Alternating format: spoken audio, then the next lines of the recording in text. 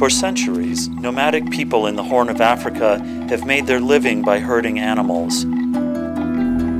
Today, their traditional way of life is under threat.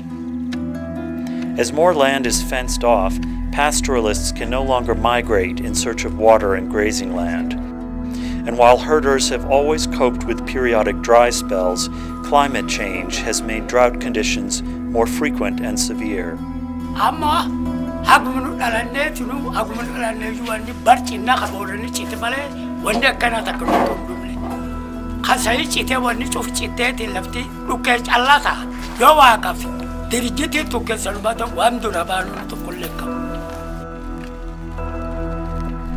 Hundreds of thousands of cattle have died from lack of water and pasture.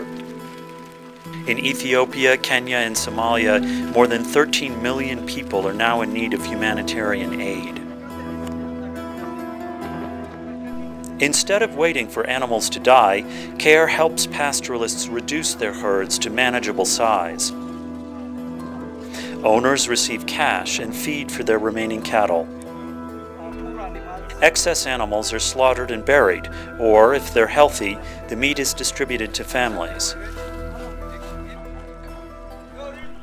CARE has also created much needed new watering points throughout the region while helping maintain and repair existing ones. The productivity of the wells are now on the decrease. The volume of the water is not enough to accommodate the animals. CARE's response to that situation is to rehabilitate the previously mud water cattle trough, but now as you can see it is well cemented, it can handle large livestock. CARE staff work with communities to install safe water systems.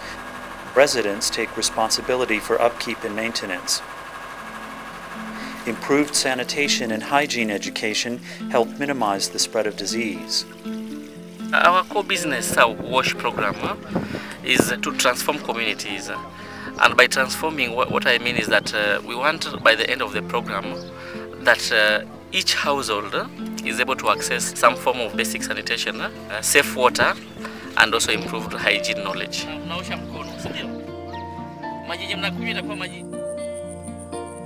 When animals die off and herders are forced to find new ways to survive,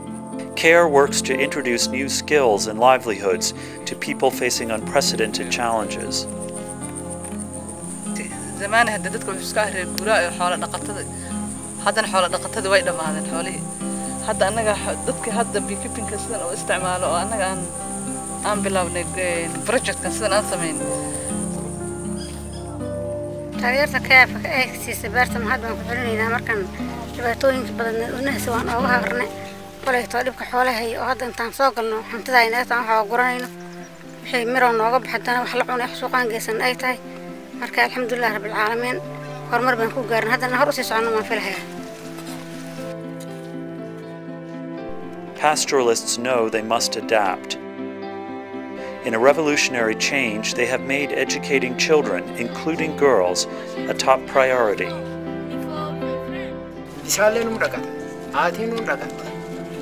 Bisaallee nu dhaqata. Haatii nu dhaqata. Man tamaarii sun raafuu bira bisaan nam raafuutti jira. Maan jennaan haadhatti itti dabarecha. Kanaafuu ijoolleen tamaarii ta durii nu qoraalee bisaan callaa irreen taane amma karaa sun hin jirtu. Guddoo garman barumsaa jirti. Amma yoo galii nu guddaate ijoolleen ta'e namoo jalaallu falteen tokko hin jirti. Nu fakkeenya durii booranii kennu kun baay'ee ijoollee ta'e tamaarsifatu. In this time of crisis and change, CARE is providing hope and opportunity for a promising future to millions in the Horn of Africa.